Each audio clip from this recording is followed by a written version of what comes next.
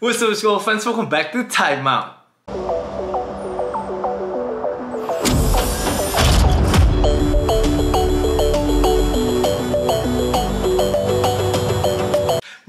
Gue Ricky Padilla, kita kembali lagi ke info basket harian dari si 19 April 2021 Temat geng, gimana semua kabarnya? Hopefully everyone had a great weekend. Hari ini pun gue lumayan sibuk juga, tadi gue seharian di lapangan basket. Event pertama basket gue tadi lumayan agak aneh sih menurut gue Karena rame banget lapangannya.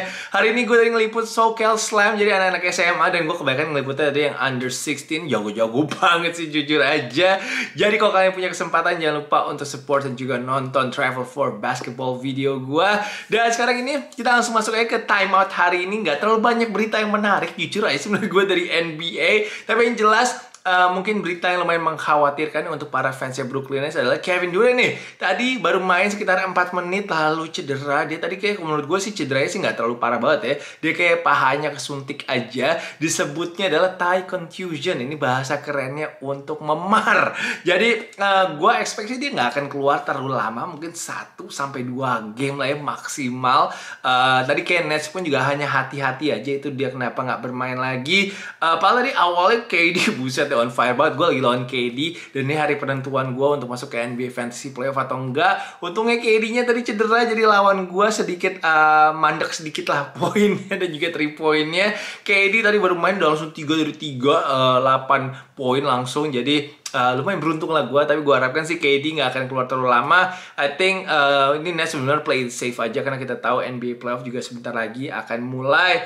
Uh, hari ini uh, Nets kalah dari Miami Heat dengan skor 109-107 berkat game winning shot dari uh, Bam Adebayo. Tadi dia bilang di wawancara bahwa dia pengen naik ke meja scoring table seperti Dwayne Wade tapi nggak jadi ya. Uh, tapi Bam hari ini sih ball masih offensively dan juga defensively untuk Miami Heat di mana dia mencetak 21 poin dan juga 15 rebound. Gue tuh salut banget sih sama defensive effort dari Bam Adebayo ini. Dia tuh merupakan seorang pemain ya. Mungkin yang impact itu besar banget. Mungkin sampai orang nggak terlalu gimana gimana banget mungkin karena poinnya ataupun uh, statsnya nggak terlalu mencolok-mencolok banget tapi menurut gue man dia adalah one of the biggest player in the NBA apa yang membuat impact untuk timnya dan yang paling penting tuh dia hari ini lockdown defense on Kyrie Irving. Kyrie Irving hari ini saat dijaga sama Bam Adebayo itu 08 serta 03 in the last 4 minutes hari ini di uh, pertandingan ini. Nah, Nets ini gue bingung ya Uh, kenapa dia maksain banget untuk si Kyrie itu ISO tadi? Uh, karena uh, si Nets itu sebenarnya total tuh 04 tapi uh, dari 04 itu in the last 5 minutes 03 nya adalah Kyrie.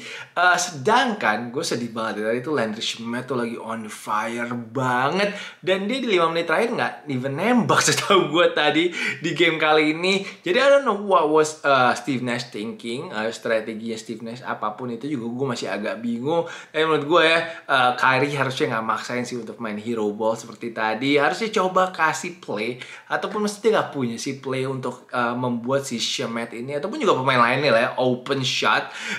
Daripada Kyrie tadi maksain dan akhirnya pun uh, Nets harus kalah. Padahal Shemet hari ini 30 poin 10 dari 15 uh, dan juga 3 poinnya 7 kali di pertandingan ini. Dan of course yang punya Landry Shemet di NBA Fantasy pasti happy banget. Karena performanya dia akhir-akhir ini lagi nanjak terus. Gue tadi mau ambil tiba-tiba diambil sama teman gue dan ya menurut gue hari ini Nets just beat themselves man. Sayang banget sih untuk Brooklyn Nets hari ini. Uh, oke okay, karena kita ngomongin tetangganya Brooklyn Nets yang nasibnya sedikit berbeda di mana New York Knicks hari ini memenangkan game yang mereka lagi dan ini merupakan keenam secara beruntun mereka menang ya. Jadi man they are just on fire right now. Mereka hari ini mengalahkan Pelicans. Wah susah payah sih menangnya sih. 122 112 lewat overtime. I just hope man we can get that next Nets playoff series in the first round. Woo, that's gonna be lit menurut gue sih kalau bisa ketemu Nets lawan Knicks in the first round. Mungkin aja sih uh, asalkan Netsnya turun ke posisi 3. Wah, itu yang gue harapkan sih ya. Um, Randall, Julius Randall kembali menjadi bintangnya hari ini untuk New York Knicks dengan uh, 33 poin, 10 assist dan juga 5 steals. Wah, ini lawan gue nih nanti nih di NBA Fantasy Playoff. Uh, gue udah nyesel juga sih. Sebenarnya tadi pemain gue terus gue trade teman-teman gue udah gue nyesel banget asli deh. Dan Randall hari ini menerima MVP chance dari MSG crowd. Wah, ini luar biasa sih menurut gue. Dan memang dia pantas banget sih diteriakin seperti itu karena this is one hell of a season for the New York Knicks dan juga menurut gue lock lah ya untuk most improved player at least uh, untuk Julius Randle season ini. Dan tadi terakhir pun dia ada 3 point dagger ya. Wah, tinggal 0,3 detik tuh dari shot clocknya terus dia tembak langsung masuk itu untuk memastikan kemenangannya New York Knicks hari ini. Dan of course seru banget ngeliatin uh, duel big man muda yaitu Julius Randle melawan Zion Williamson di pertandingan kali ini. Back and forth just do just two big men trying to show them uh, show their skills aja di pertandingan kali ini. Zion hari pun juga luar biasa 34 poin dan 9 rebound di pertandingan pertamanya di Madison Square Garden. Dia pun langsung bilang wah selain New Orleans gue seneng banget nih mainnya di Madison Square Garden. And of course Derrick Rose wah vintage performance hari ini dengan 23 poin. And of course one crucial block tadi untuk membangun memaksakan game ini masuk ke overtime. Uh, in the last two minutes tadi di regulation ya sebelum masuk ke overtime menurut gue perannya dari Cruz penting banget di mana dia five uh, five quick points lalu dia ada satu assist ke Reggie Bullock juga yang masuk three pointnya uh, untuk bisa membuat seri game ini dan terakhir jelas bloknya kepada uh, Eric Bledsoe So his fingerprints are all over this win for the New York Knicks. Dan gue happy banget sih bisa lihat Derrick Rose itu bisa kontribusi lagi seperti ini. Dan selama ada Derrick Rose di New York Knicks dan juga saat lagi dia bermain ini Knicks rekornya adalah 15-7 season ini. Dan must be nice to be a Knicks fan right now menurut gue dan kita juga harus kasih kredit kepada uh, Tom Thibodeau ya. Bener-bener itu apa ya crucial banget dan juga besar banget ya impact dan juga touchnya apa ya seorang pelatih menurut gue di mana culture-nya dirubah total sama uh, Thibodeau tahun ini dan defense-nya Knicks adalah salah satu defense terbaik season ini di NBA. So, uh, itu dari New York sekarang kita pindah ke Atlanta Hawks. Ada Trey Young nih hari ini mencetak sejarah baru setelah mencetak 34 poin dan juga 11 assist untuk membawa Hawks mengalahkan Pacers dengan skor 129-117. Ini merupakan ke-30 kalinya uh, Trey Young berhasil mencetak at least 30 poin dan juga at least 10 assist. Uh, ini merupakan yang terbanyak nih selama shot clock era katanya ini uh, yang dicetak ataupun dilakukan sama pemain yang belum sebelum umur 23 tahun. So congratulations untuk Trey Young, uh, Capella of course abis juga tahun uh, hari ini untuk uh, Atlanta Hawks dengan 25 poin dan juga 24 rebound. Wah gila sih hari uh, tahun ini sih Hawks hoki banget menurut gue lucky banget untuk punya Capella karena dia he has been really consistent juga reliable banget sih untuk defense dan juga untuk reboundnya Atlanta Hawks. Sabonis tadi terakhir itu membantu nih kemenangannya Hawks lewat uh, poin bunuh dirinya dia dan Loki Italy ini merupakan revenge game juga nih untuk coach Nate McMillan ya. Kita tahu dia juga mantan pelatihnya Indiana Pacers. Uh, Hawks menurut gue sekarang ini vibesnya lagi bagus banget sih semuanya. Uh, benar clicking banget. Bogdan Bogdanovic juga udah mulai bagus lagi. And of course kita Tony Snell nih mungkin bisa 50-50 100 di season ini. Wah gila sih itu shootingnya luar biasa sih kalau bisa seperti itu. Um, apalagi ya menurut gue sih Atlanta Hawks ini akan menjadi tim yang bisa mengejutkan nantinya di NBA playoff. Dan of course John Collins pun hari ini juga sudah kembali lagi untuk mereka. Oke okay, next yang terakhir gue ingin bahas adalah Sacramento Kings nih. Hari ini berhasil menghentikan their 9 game losing streak setelah mengalahkan Dallas Mavericks dengan skor 121-107 De'Aaron Fox top scorer dengan 30 poin dan juga 12 assist. Uh, season ini dia udah 17 kali mencetak 30 poin padahal dua season sebelumnya combine tuh dia hanya bisa melakukan ini selama uh, sebanyak 10 kali saja. So this is a great season juga untuk De'Aaron Fox. Um, hari ini mereka survive uh, Luka Doncic yang meng, wah gila sih. Dia tadi 22 poin di kuarter keempat. Uh, total nggak salah tadi Luka 37 poin. Tapi untungnya ada De'Aaron Fox juga menurut gue nggak kalah cemerlang tadi di kuarter keempat di mana dia mencetak 12 poin. Dan De'Aaron Fox ini merupakan pemain yang uh, lead uh, in lead the NBA in fourth quarter scoring. Um, Oke, okay menurut gue hari ini yang buat Dallas rusak adalah Kristaps Porzingis.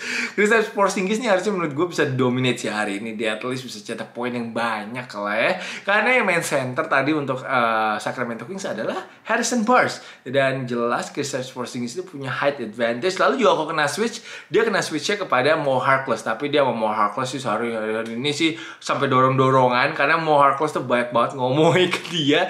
Dan juga very physical. And that's good menurut gue itu membuat Kristaps Porzingis akhirnya uh, frustasi dan itu strategi yang G2 banget menurut gue dari Sacramento Kings. Karena uh, Porzingis hari ini hanya 9 poin dan juga 3 dari 14 shootingnya.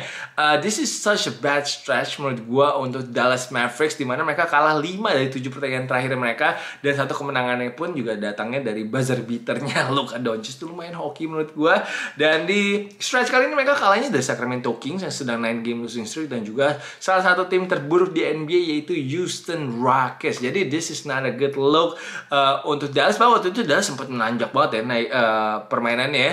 Padahal ini kesempatan besar banget sebenarnya untuk Dallas bisa naik ke posisi 6 agar mereka nggak di play in tournament biar nggak dikomplet sama Luka Doncic.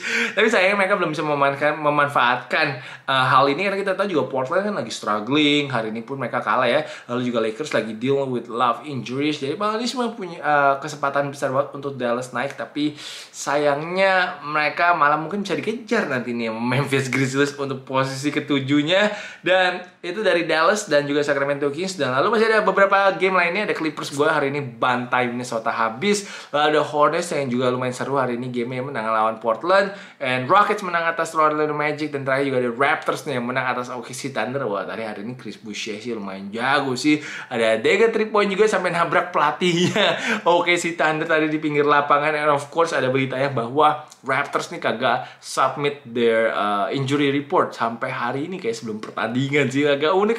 Gue nggak tahu nih mereka akan kena denda atau enggak karena Pascal Siakam juga gue nggak tahu deh cedera cedera apa kalau kata Nick Nurse kita ya yeah, he hurt his uh, shoulder but I don't know how. Jadi itu lumayan unik juga sih alasannya dari uh, Nick Nurse. So I expect uh, mungkin denda karena kita tahu main uh, Spurs pun kena 25 ribu ya kalau nggak salah ya untuk denda karena mereka juga mengistirahatkan pemainnya mereka. Um, oke okay, ada beberapa berita dari NBA gue ingin share kepada kalian. Uh, Gary Payton 2 ini baik banget yang pengen dia di extend sama uh, Warriors. Akhirnya kesampaian nih dia akan dapat uh, second their uh, his second 10 day contract nantinya dari Golden State Warriors karena Warriors katanya impress sekali dengan defense-nya dia.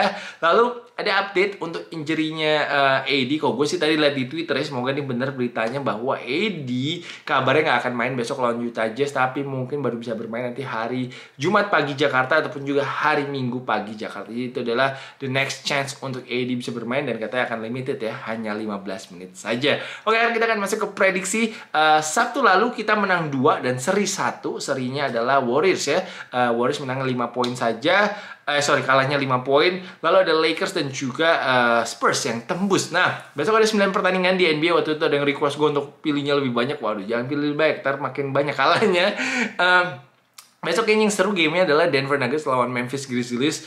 Uh, kayaknya besok Memphis nih, aduh, gue masih bingung sih. Memphis nih lagi on fire juga nih, lagi menang two, on, uh, two in a row. Kemarin juga ngalahin Milwaukee Bucks ya. Tapi kayak feeling gue besok kayak Memphis mainnya agak jelek nih kayak besok saatnya Nuggets untuk bisa menang minus 5 at home. Lalu ada Spurs nih kayak besok gue akan memilih Spurs lagi minus 1 lawan Indiana Pacers hopefully Spurs ini juga momentumnya lagi bagus sih. Uh, gue rasa sih mereka bisa menang sih besok ini ya. Uh, yang terakhir, gue juga ikutin momentumnya Washington ya. Wah, gue milihnya favorite semua sih ini. Uh, besok gue akan memilih Washington minus 11 lawan OKC Thunder. Harusnya sih Russell Westbrook besok nafsu nih pengen menang lawan mantan timnya. Dan berikutnya kita akan ada top shoes Gary Trent Jr. nih pakai Harden Volume 4 today menurut gue nih super fire banget. Gue pertama kali lihat sepatu ini, but I love the colors and I love the design. And of course berikutnya ada Lou Will with this unique shoes. Never seen any shoes like this before. Kayak ada garis uh, bendera finish gitu ya, checkered flag gitu. Not really feeling it though. Uh, warna kuningnya juga menurut gue too much for me. Dan ini adalah dua hari yang lalu uh, Bradley Beal pakai Jordan 35 Low Player Edition. Pertama kalinya gue lihat kayaknya yang uh, Jordan 35 Low. This is pretty nice. I like it though. berikutnya ada top place. Wah ini banyak nih hari ini. Ada Ricky Rubio setups uh, Carl Anthony Towns to dunk all over Ivica Zubac. Lalu berikutnya ada Nerlens Noel nih yang rejects Brandon Ingram's dunk. Wah, this is really impressive menurut gue. Lalu ada Zion, wah, with a power dunk in uh, at Madison Square Garden. Lalu ada Cody Martin nih with the steal on TJ and finish it with a big slam. And ini adalah wah ini marah nih slam dunknya Miles Bridges man. This is a angry dunk from him. Lalu ada Boucher nih yang drops Poku to the floor and hits the three point shot. Dan terakhir of course uh, power play of the day, Bam with the game winning shot against the Brooklyn Nets. Nah, player of the day hari ini gue akan memilih Terry Rozier. Menurut gue Terry Rozier has been on a tear juga season ini. Dia selesai dengan 34 poin, 10 assist dan juga 8 rebound. Hari ini Charlotte mengalahkan Portland dengan skor 109-101. Oke, time out geng itu dulu untuk episode timeoutnya hari ini gue tunggu untuk komentar kalian semua juga di comment section di bawah. Eh, ya hari ini beritanya lagi so-so aja lah ya. Nggak ada yang uh, kontroversial dan juga yang menarik-menarik banget dari NBA tapi kita tetap gue ingin update aja kalian semua karena kan uh, timeout main udah libur. Uh, besok gue rencananya uh, atau hari ini sih sebenarnya malam gue rencananya akan uh, interview dengan CEO IBL uh, Bapak Junas Miradiarsya kalau kalian punya pertanyaan yang kalian mau titip kalian bisa ke Instagram gue at Rocky Padilla Snaps. Uh, gue tadi udah buka question box. Nah, nanti kalau memang pertanyaan kalian menarik gue akan pilih untuk tanyakan langsung kepada uh, CEO IBL besok ini. Uh, malam ini gue lupa mulut. Tapi besok tayangnya besok sih. Tayangnya uh, besok pagi di YouTube channel gue jadi tunggu aja. And of course thank you so much guys for supporting my channel as always. Yang udah nonton time setiap harinya juga thank you so much. Yang udah gak skip iklan yang nontonnya sampai habis you are all amazing. So thank you so much time out gang and I will see you guys tomorrow. Peace